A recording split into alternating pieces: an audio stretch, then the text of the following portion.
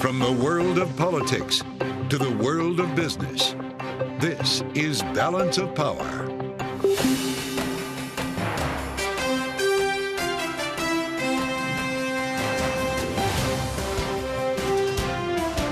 Live from Washington, D.C. From Bloomberg's Washington, D.C. studios to our TV and radio audiences worldwide, welcome to Balance of Power. Alongside Joe Mathieu, I'm Kailey Leinz. Happening now, President Biden in New York City en route to an event where he's expected to raise over $25 million. Former Presidents Obama and Clinton also in attendance. Biden's campaign calling it the most successful political fundraiser in American history. We'll talk about it ahead with Kyle Kondik of Sabato's Crystal Ball. Plus, Ukrainian President Volodymyr Zelensky saying he talked with House Speaker Mike Johnson and briefed him on the situation on the ground, even as further aid for Ukraine stalls in the House. We'll break it down with Angela Stent, senior fellow at the Brookings Institution and author of Putin's World. And tomorrow, marking one year of captivity in Russia for American journalist Evan Gershkovich. One year. We'll be joined by former Wall Street Journal Washington bureau chief Paul Beckett ahead of the anniversary of the arrest. Remarkable, Kailey, to think that one year has gone by and looking forward to talking to Paul uh, here on a day where we have a lot of cross currents and a hmm. big event ahead on the campaign trail tonight, maybe one like we've never seen. Yeah, certainly the news doesn't seem to be as much here in Washington today as it is up in New York, where not only will President Biden be with this multi million dollar fundraiser alongside two former presidents, but mm-hmm. another former president, Donald Trump, was also in New York today attending the wake of an NYPD officer. Yes, that's and right. And talking about crime. Well, it's an interesting contrast, and we'll get into this now along with our other top stories with Bloomberg's Mike Shepard and Laura Davison with us here at the table. Laura, what do you think of the optics uh, involved here? I remember the celebrity ad back in the McCain Obama campaign in 2008 with Paris Hilton getting out of a limousine. This is sort of the definition of the coastal elites getting together to support Joe Biden. The contrast, Donald Trump today in New York, is great. Does it hurt Joe Biden? You know, it really doesn't. Um, you know, because Biden can still go back and say, look, I'm raising $25 million. This is more than twice what Trump raised in the entire month of February. Right. So, um, you know, and he's got popular figures there. You've got Broadway stars, you've got pop stars like Lizzo, mm-hmm. uh, you have Stephen Colbert, who's, who will be moderating a conversation between the presidents in the room. Um, so this is, is really, uh, you know, it, to the extent that this get, you know, this story plays out, this is not going to be a factor in, mm-hmm. uh, in November, but the money will certainly be a factor. You know, Biden has this massive cash lead already. Trump uh, is really struggling to catch up, plus still spending millions of dollars a month on legal fees. Sure. uh, so this is, is uh, sort of the, the play, and this is. And clearly you see the way that Biden's team is touting this. They're very happy with the, this event. They think this is a good thing. Plus, they can say, look, tickets, you know, the starting ticket was $250 to get in the room. If a regular person wants to come, you can enjoy, uh, you know, this whole spectacle yeah. at Radio City Music Hall. Oh, it's still a $500 night out. Yeah, well, or if you want a picture with all three presidents, 100 grand what is what that? that'll cost. you. it's definitely a pretty penny. So $25 million, obviously a massive haul, one night only. You add that to the 155 million Biden and the DNC already had in hand when the month of March began. That's like three times what Trump and the RNC have. The thing is about it, though, Mike, Biden is still lagging in the polls. He has all of this money at his disposal. He's showing off his fundraising prowess, but Donald Trump is leading. So, what does that say? Well, Kailey, you brought up a really good point about the difference between the money and the polling. In our latest Bloomberg Morning Consult poll of seven swing states, ones that will help to decide the election, highlights that gap. Biden is trailing Trump 43% to 47%.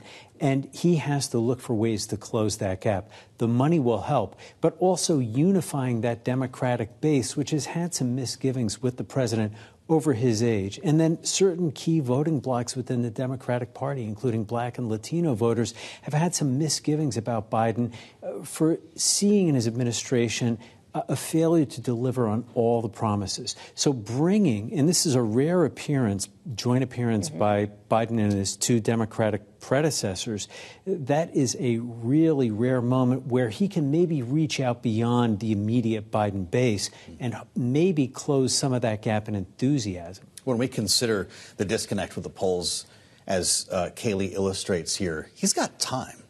And we talked about that today. Consumer sentiment at its highest level since July. We're actually seeing, or at least his campaign might be, green shoots when it comes to the economy. That may not play out eight months from now, But I'll tell you, the, the director of public affairs at Ipsos, Cliff Young, talked to us about this earlier today about the trajectory that could play in Biden's favor. Here's what he thought. Obviously, time's not in Biden's favor. Anytime an incumbent's down because of the economy, the question is can you gain that ground quickly enough? But what's happening now is what we expect. And uh, the, the economy is improving, people perceive that, and we're beginning to see, at least on the Biden side, glimmers of hope when it comes to numbers. So, Laura, I guess the question is how much time does he have? We keep hearing people aren't even paying attention yet uh, in real America. Those of us uh, who are who are absorbing this every day are not normal. Um, so, do we need to see improving data or evidence of a soft landing late summer, early fall? What is it? That's really when people start to tune into the election, you know, right around that Labor, Labor Day, Day, time yeah. period. Um, though Biden needs to start making up ground before then. You know, there in still these swing states, he has a pretty wide delta. Mm-hmm. Um, and, you know, to make up that gap, that's not all going to happen in one or two months. And of course, there's the uh, infamous October surprise. Anything could happen that can really blow this race wide open. Because again, you know, you're really only talking about maybe tens of thousands of voters who are going to be these swing voters that are going to decide the election. Um, so it really matters, you know, what is happening in the upper upper Midwest. What is happening, um, you know, on the border? You have, you know, Nevada and Arizona that are key swing states. So there's a couple, uh, you know, kind of specific things that may have an outsized reaction on this election. Well, you bring up the border. Laura, and we know that Republicans have a a very big issue with not just the border, specifically the way this administration has handled it and done so through the Homeland Security Secretary Alejandro Mayorkas, who of course was impeached by the House. We learned today by Speaker uh, Speaker Mike Johnson allow, uh, announcing they will send those articles of impeachment to the Senate when everybody's back from recess, April 10th and then it dies immediately? How is this going to be handled? They're still figuring that out and trying to, you know, what are they going to do to, handle this? You know, neither Republicans nor Democrats uh, want to take this up. Uh, the question is, uh, you know, Mitch McConnell is on his way out. His his influence is waning, and is it the more Trump faction of the party that says, hey, look, we should we should deal with this and do something more? Of course, this eats into the Senate's time. You know, as we remember from previous impeachment mm-hmm. trials, we're getting good at this. Um, that you know, all the all the activity stops. All the senators are sitting there on the floor listening to the the various sides argue the case. So was, there's things like Ukraine aid, Baltimore Bridge aid, yeah. all of these things that, that folks are, are wanting to turn their attention to now that all the spending drama is behind us. That's right. Uh, and, and so those are going to be the competing forces at play. Well, we're all curious about how Baltimore Bridge aid is going to be received whenever this emergency request uh, emerges. The governor of Maryland, Wes Moore, uh, talked about the collapse at the opening day for the Baltimore Orioles. Here he is. Baltimore is being tested right now. But Baltimore's been tested before. And every time we stand up on two feet, we dust ourselves off, and we keep moving forward. This work is not going to take hours. This work is not going to take days. This work is not going to take weeks. We have a very long road ahead of us. What he means, Michael, is years. We hear seven years possibly and $2 billion based on reporting at Bloomberg. That means cars aren't driving over that bridge until after the next presidential term. It will not be Joe Biden or Donald Trump who witnesses that. What are they going to experience in this debate over funding this spring, however? Well, what we're seeing already is a little bit of a partisan split. President Joe Biden the other day said that he expects the federal government to pick up the full cost of reconstruction. But now we're hearing from some Republicans who say that the owners of the ship that struck the pier, that supported the bridge, and that prompted the bridge's collapse should bear the financial cost. How do you actually make that happen? Are, it is much more complicated given that it's a foreign owner. And also, it may take much longer to get that money back, if at all. And what the city of Baltimore and the port of Baltimore and all those commuters you mentioned and all the workers and all that commerce need is for that bridge to be reconstructed. More immediately, they have to focus on recovery. The remains of the four missing workers, first and foremost, you know, this was a terrible tragedy that cost uh, six people their lives. Um, and then the, the blockage to the seaway, to, to the Patapsco River. Um, it is a huge engineering endeavor to just simply clear all of that ahead of any reconstruction. Yeah, I was out there yesterday. Conditions for this effort are certainly suboptimal. The water has been choppy, the visibility is low, and of course, they're also dealing in those waters with a ton of extensive debris from the bridge and from the ship itself. Mike Shepard and Laura Davison, thank you both so much for joining us this evening. We appreciate your time. Now, another story that we've been following today FTX co founder Sam Bankman Fried is sentenced to 25 years in prison for stealing billions of dollars from customers. U.S. District Judge Lewis Kaplan delivering the sentence in federal court in Manhattan moments after Bankman Fried said he was, quote, sorry about what happened at every stage. He faced as long as 110 years behind bars after being convicted last year of seven offenses, including fraud and conspiracy. Now, still ahead on balance of power, the Republican House majority is getting smaller and smaller. Kyle Kondik of Sabatos Crystal Ball will be with us next, right here on Bloomberg Television and Radio.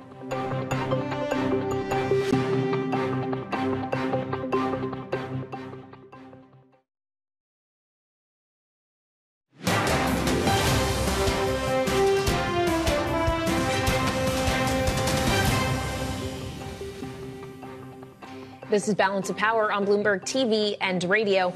As Baltimore looks to recover from the collapse of the Key Bridge this week, among the voices of support are candidates vying for a Senate seat in Maryland. Republican Larry Hogan, the former governor of the state, and Democrats David Trone and Angela Alsobrooks are in the running. Here to discuss that race, as well as the slowly dwindling Republican House majority, is Kyle Kondik, managing editor at Sabatos Crystal Ball with the University of Virginia's Center for Politics. Kyle, always great to have you on the program. When we think about Maryland and that Senate seat, this is one of the ones that we maybe weren't thinking about as a potential flip when we are having the discussion about what the composition of the Senate is going to look like come 2025. We know that Ohio and Montana are in jeopardy. West Virginia likely gone with the retirement of Joe Manchin.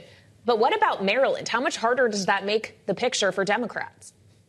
Uh, look, it was a great development for Republicans that Larry Hogan decided to run in Maryland. I do think that ultimately the Democrats are still favored uh, to hold the Maryland Senate seat. Maryland is one of the bluest states in the country. It's a presidential year, but Hogan's got a lot of goodwill from when he was governor. Um, although, you know, I feel like we, we have seen this movie before in some other states, particularly um, the shoe is on the other foot. Democrat, popular uh, former and current Democratic governors in red states running for Senate seats. Republicans had to spend money in those places. There was close polling. Those Democrats were sometimes sometimes leading. Um, but ultimately, mm. the Republicans ended up holding um, those seats, like like Montana in 2020 and Tennessee in 2018. So I still like the Democrats in Maryland, but you know this would be a totally sleepy race in the general election were it not for Hogan running. So that development's good for Republicans anyway. Well, I'll tell you what, Karl Rove is writing about this in the Wall Street Journal this morning.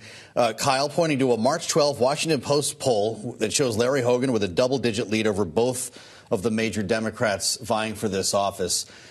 Hypothetical here, I'll give you. If Republicans take the state of Maryland, is it over?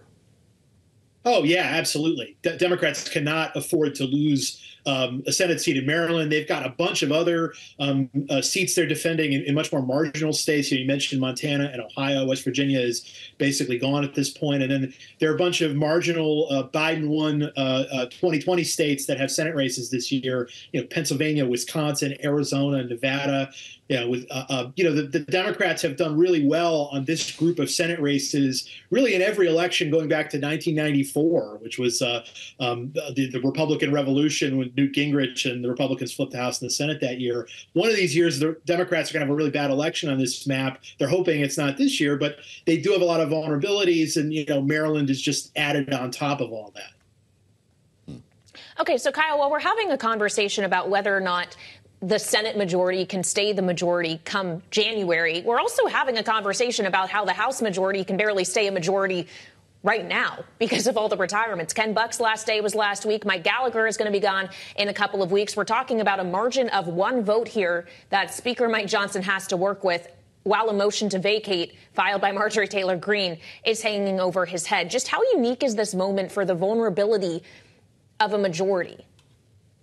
Look, I mean, we, we wouldn't really have any any actual modern precedent or really much precedent at all for um, uh, the House potentially changing hands during an actual Congress. The only comparable example I could think of was way back in 1930 in the midterm. The Democrats won a bunch of seats, but they came up just slightly short of winning the majority. But back then, the, the House didn't open until the following December of 1931. A bunch of special elections in that time frame. Democrats ended up, you know, winning the House in, in that little interregnum period period. But um, you know, look, if there were some more vacancies, uh, you could see a situation where temporarily maybe the Democrats could actually have a majority and elect a speaker for, for a short amount of time. And even if it doesn't happen now, it could happen in the future, given how closely contested the House is these days. Well, that would be incredible. Look, some Democrats have offered to to potentially help protect uh, Mike Johnson under certain circumstances if a Marjorie Taylor Greene or someone uh, triggers a motion to vacate. The question is, you know, what's the price? Are we talking about a power sharing agreement, or Kyle, would it be in fact floor time for a bill to fund Ukraine? I mean, that's what's being, you know, it's being discussed. Uh, and look, I mean, in some ways, we're not really dealing with a, a traditional majority situation in the House right now because uh, Speaker Johnson has had to rely on Democratic votes to through this uh, suspension of the rules process that requires two-thirds majorities to, to pass some of these must-pass bills. And there are more Democrats voting for these things than Republicans are. So, um, I mean, yes, the Republicans are still in the majority, and um, they have many of the trappings of being a majority. But usually in the House, you know, w- one party can be unified and pass the things it wants to pass, but that's just not the case in the House right now. So the Democrats do have um, some leverage, and they may have some leverage if, if uh, you know, so- someone tries to topple Johnson as Speaker. Well, and then it becomes a question of, of would it actually be a Hakeem Jeffries speaker after that potentially, or is someone else going to have to try and potentially fail, as we saw play out several times this fall once Kevin McCarthy was vacated? Obviously, though, Kyle, there is still, before the general election in November, a number of special uh, elections that could help decide really how the House is balanced in the interim. Is there one in particular you are watching that has the potential to surprise? So, unfortunately for we election watchers, these special House elections coming up are all in, in pretty uncompetitive seats. And so um, once Mike Gallagher resigns, it's going to be 217 to 213 Republican. The next special election coming up is April 30th in New York's 26th district, very heavily Democratic seat. Democrats should get up to 217 to 214 Republican. And then the Republicans are going to fill a few additional seats in May and June and um, get up to, uh, to 220 to 214 majority. Um, but that assumes also there aren't any more resignations or more vacancies, and there's always the possibility at any time there could be a new vacancy. Hmm. Of course, there is. Kyle, it's good to have you back. We appreciate the time. Kyle Kondik at the University of Virginia, we thank you for the time. Coming up one year since the arrest of Evan Gershkovich. We'll be joined by former Wall Street Journal Washington Bureau Chief Paul Beckett. Coming up next on Balance of Power Bloomberg TV and Radio.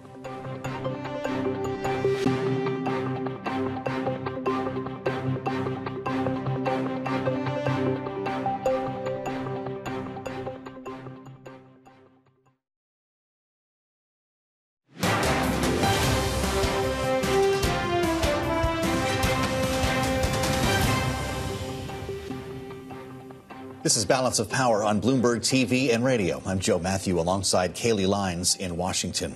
One year ago, American reporter Evan Gershkovich was arrested in Russia while on assignment for the Wall Street Journal. Today, he remains in prison in Moscow. Earlier this week, the court there extended Gershkovich's sentence until at least the end of June, a three month extension. U.S. Ambassador to Russia Lynn Tracy reacting to the news. The accusations against Evan are categorically untrue.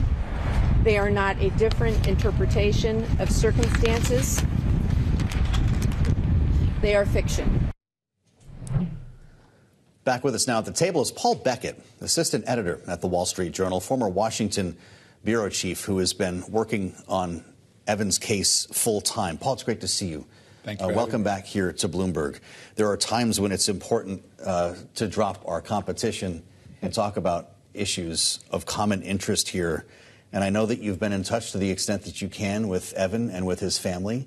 This news, though, of a three month extension, followed by word from the Kremlin, a call for silence, saying that silence is needed when it comes to talk about a possible prisoner exchange. Are you hopeful that something is about to happen? We remain hopeful. We've been hopeful from the day it happened, and we remain hopeful. But the three months was a disappointment. It's been part of a pattern. They've spent two or three months, you know, every two or three months they put him in a cage and we see him and they extend yeah. his detention again, and they've done that. Uh, we believe there are conversations ongoing. The U.S. government has said that, mm-hmm. uh, and we understand that those need to be classified and quiet but we are going to remain loud until Evan comes home. Can you tell us anything about his condition now after a, a year of being imprisoned? We knew when we hired him he was a great reporter. Uh, we've discovered what an extraordinary young man he is. He's in a jail cell for 23 hours a day. He gets uh, one hour out in a courtyard that's about the same size as his jail cell, so it's about six steps like this. Uh, but he has, he's incredibly strong, and he has kept his equilibrium, which we're very grateful for. He meditates, he does yoga, he exercises, he writes letters, and so under the circumstances, he's doing okay. Does he believe that he'll be back home before we're talking about another anniversary? Uh, I hope he does, and we do. And you know, one of the things about marking his one year, which happens tomorrow, is it's a reminder that we need to keep pressing from the day after one year until he comes back. What? How much does external events that don't actually have specific relation to Evan's case, but given that it obviously is a very tense time with Russia and much of the world and an uneven relationship, if you will, with the U.S., how much do you feel like external factors are weighing on ultimately his fate? The thing that we have to do is keep him in the spotlight because there are a huge number of distractions. Um, but we also think that this is a business for Russia. Uh, this, this, is very transactional. You've seen Paul Whelan's there, obviously, but Trevor Reed came out, Brittney Griner came out. Evan was taken, and Alsu Kurmasheva, the Radio Free Europe reporter, has been taken. This is hostage taking as a business for Russia. So we believe on what Putin has said is that they want to do a deal. We'd just love to see that deal done. What does he think he's gaining by this? Leverage over the United States. And these are very, very difficult. If it winds up in a prisoner swap, mm. you do, in effect, hand back a guilty person to get an innocent person. Right. And just in that, you see the mismatch, but our focus is on getting Evan back, and we look forward to the day that he's with us. We just have about a minute left, but obviously the conversations on the Russian end are one thing. What about your conversations with, with officials here in the U.S., with the Biden administration? So they have been very good about uh, giving us attention. Uh, we're, you know, obviously there are things that we hope that they're doing that they don't tell us about, uh, but we know it's got a lot of attention, and we just keep relying on President Biden's promise to Evan's family that he will bring Evan home. You've had a lot of support from the National Press Club uh, here in Washington and other organizations. Do you feel the support uh, from the news media, from journalists? It's that one of the silver linings of the year yeah. has been support from you guys, from a lot of journalistic organizations all over the world who have been incredibly supportive, and we're extremely grateful for it. That's great. And we're grateful for you being here. As always, Paul Beckett of the Wall Street Journal, we appreciate it. Now, coming up, we'll talk more about Russia and Ukraine with Angela Stent, Brookings Institution Senior Fellow. That's next on Balance of Power on Bloomberg TV and radio.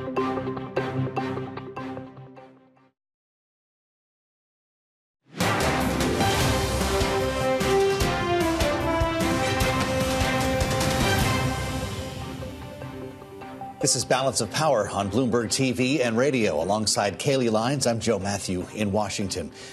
President Volodymyr Zelensky saying he talked with House Speaker Mike Johnson about the importance of additional aid for Ukraine, the status on the battlefield given the uptick recently of Russian missile attacks on the country. Joining us right now to talk about this and other issues, Angela Stent, Brookings Institution Senior Fellow and author of Putin's World Russia Against the West and with the rest. It's great to see you, Angela. Does President Zelensky think that he can personally convince Mike Johnson in this case? Well, I think he's trying his best to try and convince him, although we do know that the speaker himself, I think, favors aid to Ukraine. We should remember that a lot of that aid will go to U.S. companies that will be mm-hmm. manufacturing weapons and things that are delivered to Ukraine. I just want to get that in there. But yes, I mean, the Ukrainians are in a very difficult position now uh, without this these U.S. weapons and the U.S. assistance, which they've been waiting for six months now. Um, and the Russians have made some territorial gains in the mm-hmm. last couple of months. And as you said, uh, they have increased, intensified their bombing campaigns against infrastructure, against civilians. Um, and so, uh, you know, it's pretty hairy living in many of the main cities of Ukraine now. Mm.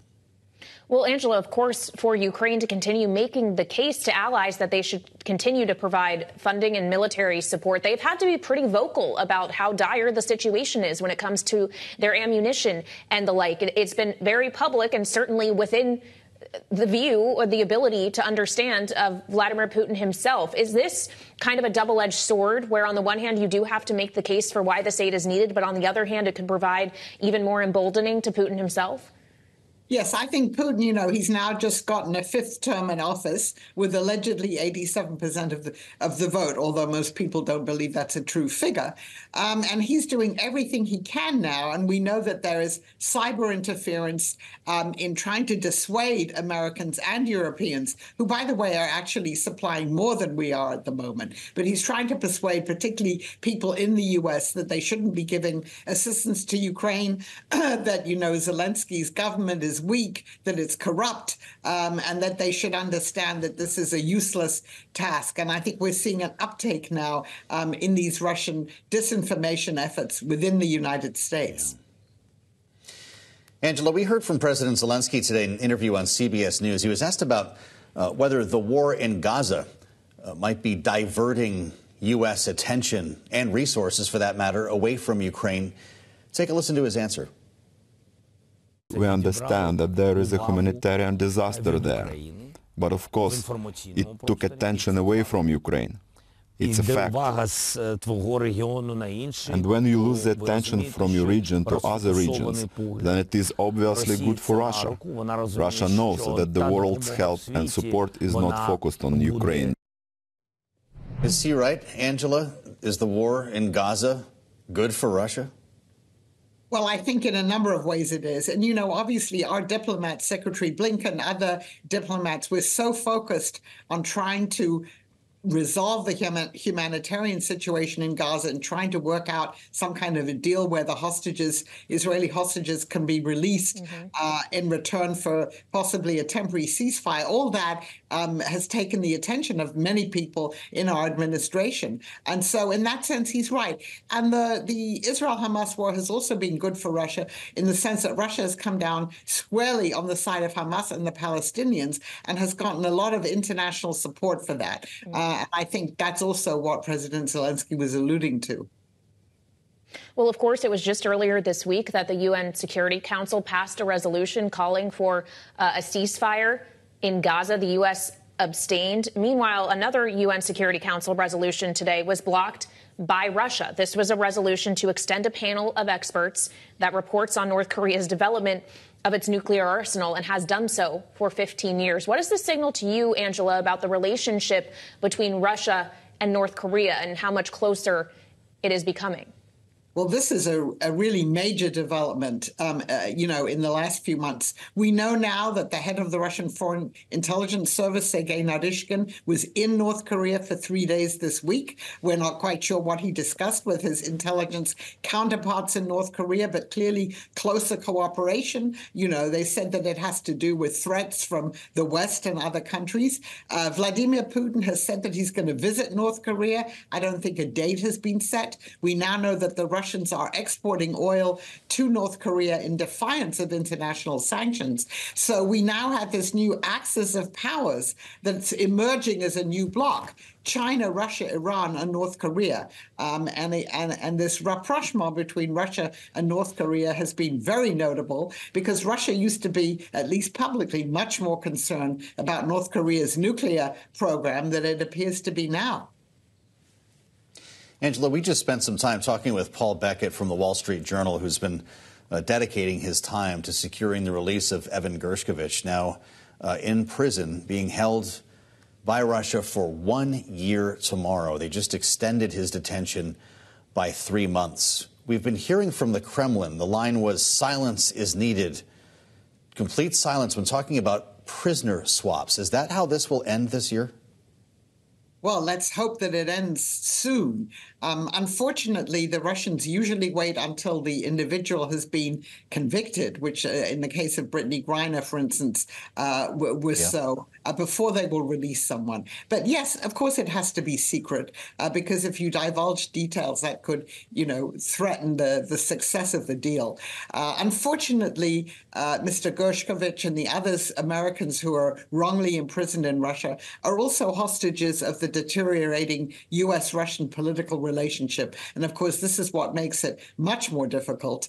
Uh, there are stories now that some kind of a deal was in the offering while Alexei Navalny was still alive, which would have involved um, uh, Mr. Gershkovich and I think Paul Whelan uh, and Navalny himself being exchanged for uh, this Russian um, assassin who's in jail in Germany. Uh, but we know that, of course, that fell through once Navalny was no longer alive. So I think we just have to wait and see what happens and try and be hopeful, um, as your previous guest was. Well, and we remain hopeful, of course, for Evan's release as well as Paul Whelan's. But the question then remains even if their freedom can be secured, are others just going to be next? Is this now how this works with Russia? That's essentially what, what Paul was alluding to with us. This hostage taking is a business for them now. Who will be safe in modern day Russia?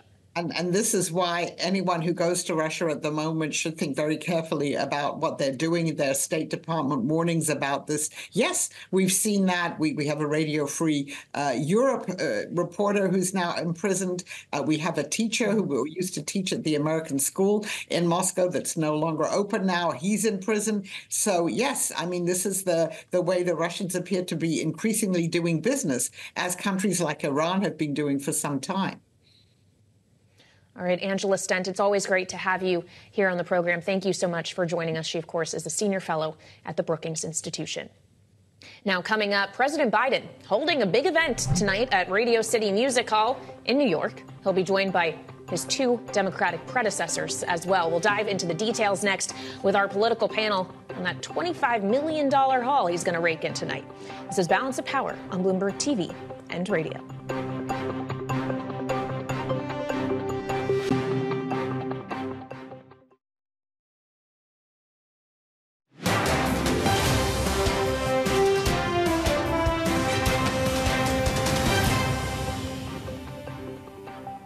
This is Balance of Power on Bloomberg TV and radio. Former presidents Barack Obama and Bill Clinton tonight joining forces to help boost fundraising for President Biden's reelection campaign. They are all three set to appear at Radio City Music Hall for a celebrity filled event tonight in New York City, and they're going to raise $25 million while they do so. Let's bring in our closers for this discussion Rick Davis, partner at Stone Court Capital, and Jeanne Sheehan Zaino, political science professor at Iona University, with us on a Thursday this week because mm. of the holiday tomorrow. So wonderful to see you both. Jeanne, $25 million is going to be pulled in in part because everybody who wants to take a picture with all three presidents has to pay 100 grand to do so. And we know that Biden has proved his fundraising prowess in recent months. It's not at this point, though, buying him much better polling figures. So is it about raising the money or about putting it to work in your favor? It's about both. And, you know, this is probably the biggest night in Democratic politics since Biden's inauguration. The numbers are astounding. I hope you and Joe are saving up to get your picture $100,000 for a picture with the three of them. Um, and it's quite historic. And this is a huge, huge boon for Joe Biden.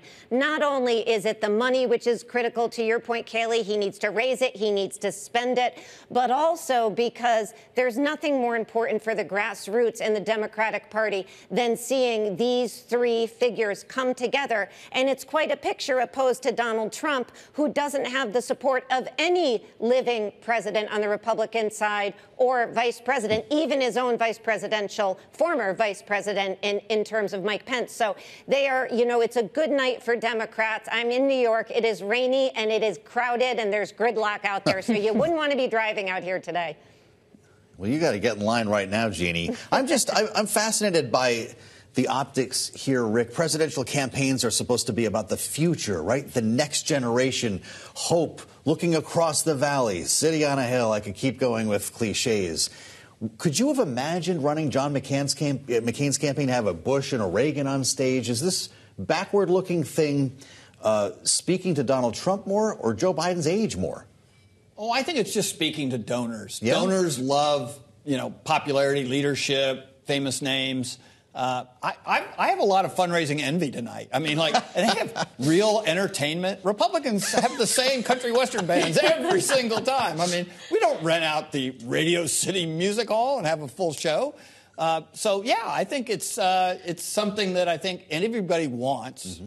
Don't give the donors what they want. They're not going to pick up any votes tonight, but they're going to get enough money to go and try and communicate with a lot of voters, and that's what this is. It's the yin and yang. Phil Gramm, uh, famous American politician said, Money is the mother's milk right. of American politics. Yes, and tonight, it's mother's milk. okay, so what we've learned is that Rick Davis wants Lizzo, yeah, Queen Latifah, right. to be at his next event. To the point Jeanne, though, was just making about how you're talking about the establishment being behind Biden and the Democratic Party, whereas they are not behind Trump. Isn't that what works to Trump's advantage, though? That's part of his appeal. He's not the establishment. So I just wonder if if that contrast is something that works more for him than against it. Yeah. Well, he did lose the last election with that message, right? And so what's new this year that uh, wasn't true in 2020? And so I think if I were the Trump uh, campaign, I'd be worried that this message of exclusion uh, is uh, not as successful as the message of inclusion. And so, sure, it's a nice uh, thing to be an uh, outsider it's a nice thing to be, you know, a former president. How does a former president be an outsider? Some of that is very much in contrast. And, and so I, I think that this is the contrast with the two campaigns. Uh, Joe Biden is selling a positive image of the country uh, and an establishment figure. His biggest problem is the liberal left, and you're kind of, you know, sort of covering over that. And Donald Trump's the fighter where the country's a mess, and you need someone like him to rescue it uh, from all these, um, you know, negative influences, many of which are government themselves. Swamp people. And uh, yeah, swamp people. So I, I, I, think that you're going to see that in stark contrast. Donald Trump's going to be in New York too, probably stuck in traffic along with Jeanne. That's right. And he's going to be talking about how horrible New York is, and you know, cop killing, you know, people yeah. all over the city, and and and he's going to do it in a way that is again part of that picture of how dark America is. That's fascinating. Uh, as the man who created the famous celebrity ad in the 2008 campaign, uh, when you were working with John McCain, this was about uh, Barack Obama, Paris Hilton in a limousine. Jeanne, does that matter anymore for Democrats being associated with coastal elites? They're hanging out with celebrities and a bunch of money, big ritzy night in downtown Manhattan. Is a Rick Davis going to make an ad about that, or it doesn't matter anymore because you're running against Trump? You know, they could. I'm sure they will. You know, they're already calling out uh, Joe Biden for calling in the troops, calling in Barack Obama earlier. Remember, Barack Obama used to be the closer. He probably realized Rick and I do that now. So he's coming into the campaign really, really early this time. And they're already fundraising off of that, saying this shows, you know, what trouble Joe Biden is in. But they have the same envy Rick does, which is that 25 million in a night. And just to go back, you know, there's a lot of people who are attractive here to young people, not just, you know, We're talking about Queen, Queen Latifah, Lizzo. Um, we also have Stephen Colbert. They also have Mindy Kaling. So they have a lot of talent out there who are, who are appealing. So, you know, I think they're jealous. They'll try to use that old line, but I don't think it's going to fly. Well, even if they're jealous of the money, there are some things that money can't buy, specifically free media coverage, whether it's in a court or, as you were alluding to, Rick, you're attending the wake of an NYPD officer who was shot in the line of duty, using it as an opportunity to talk about crime, not having to spend money while doing so, other than maybe the, the cost of getting to Long Island from Trump Tower or Bedminster or wherever he was. Does that playbook work just as well as spending millions of dollars on ad buys? You know, it's worked pretty well. This is a pretty typical play by Donald Trump to sort of crash the party. Uh, he likes these alternative, what we call bracketing, right? go in, go out, you know, and try to take some of the media that's already reporting in that market. Hmm. It's kind of lost on me as to why he would spend 10 minutes in New York City, though, right? I, I kind of get the idea of crashing a party, but wouldn't you want to crash a party in a market like Charlotte, North Carolina, hmm. or Phoenix, Arizona, or someplace where it's actually going to matter to you on the ballot? Because at some point, Donald Trump's actually got to win states. And it's not just about the national media, which he adores kowtowing to. It's just a, a basic political calculation that these states may not be as attractive as New York City for him, but it's where the people are going to vote. And I doubt if that many people in Maricopa County, Arizona, are worrying about what Donald Trump's doing in New York City today. About that? Coming up, we'll stick with our panel. Rick and Jeannie have more to help us remember U.S. Senator and Vice Presidential nominee Joe Lieberman. This is Balance of Power on Bloomberg TV and radio.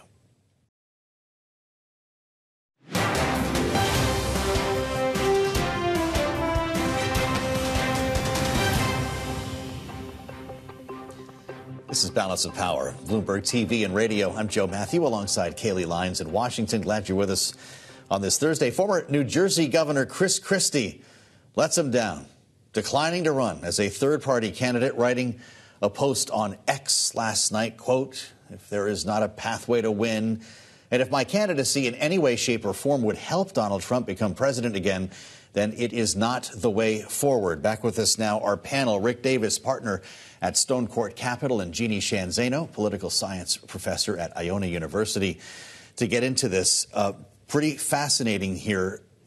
Jeanne, you've been worried about no labels. That's what we were talking about here a no labels candidacy uh, potentially for Chris Christie. If he has said no, and it would take me the rest of the program to list all the others who have said no, is this effort at last dying? It, it, seems to be, but we heard there in Chris Christie's comment, you know, if he was to join them, he would be a spoiler. And that's why we've all been worried about them. And it's Democrats yeah. who have been worried. It's the Biden campaign. It's Third Way, but it's also Donald Trump who is now attacking RFK because they know a viable third candidate, a no labels candidate, if they were able to make it on these ballots, may be a spoiler for either side. And so I think the concerns are real. I wouldn't say say they're dead yet, but it is looking much harder to see what kind of A class candidate they could put on the ballot given all the no's they've had so far. So, Rick, what do you think? No labels, no ticket? Uh, no labels, no ticket. Yeah, I mean, they're scrambling. I'm sure Nancy Jacobson, who runs No Labels, is probably wondering uh, who's our ticket? How are we going to make this credible? I mean, they could get somebody to run, but is it credible enough? We already saw uh, RFK Jr. put somebody who is completely inexperienced on his ticket and getting huge blowback because of it. So I'm sure they're learning from that media coverage saying, hey, we can't get into the same problem. So I think for the first time in a while, I'm beginning to believe that these, you know, tens of millions of dollars they spent may actually go wasted because hmm. they might not put up a ticket if they don't think it's got any credibility. Well, that's fascinating. Of course, you know, a big part of this story was the passing of Joe Lieberman, the founder of the no labels movement. Rick, you spent a lot of time with the former senator who was uh, a dear friend, if not John McCain's best friend. I can only imagine what you thought when that news broke yesterday. How should he be remembered? Yeah, first of all, I was shocked, and you know, uh, condolences uh, to uh, his wife and family. I know they're going through quite a bit right now. I don't think anybody anticipated it. I know a lot of people who were talking to him even early this week. Uh, he seemed vital and full of life. And, and, you're right, Joe. He and John McCain were brothers, right? Inseparable. Flew all over the world, talked to people in every uh, walk of life. And, and I remember Joe Lieberman even rang the bell for us in 2007 in a Republican primary. We yeah, call up Joe Lieberman, a Democrat, and said, hey, all your buddies are staying down in Florida. Uh, we got to win Florida. Could you go down and campaign on the Gold Coast? And he's like, in a minute. How many people have Democrats campaigning in a Republican primary for him?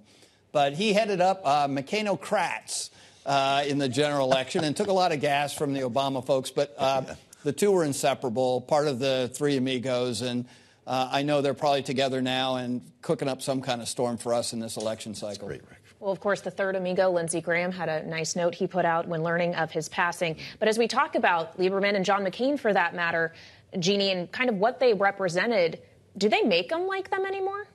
You know, they don't. I grew up in Connecticut. He was my senator for many, many years and also a state legislature. And that's one of the things that was unique about him. He came up through the party. He was incredibly moral. He was incredibly friendly and congenial and supportive. And when he, Bill Clinton had his trouble, he was the first person on the Democratic side to step up and say this is unacceptable. He was basically kicked out of the party because of his view on the war in Iraq.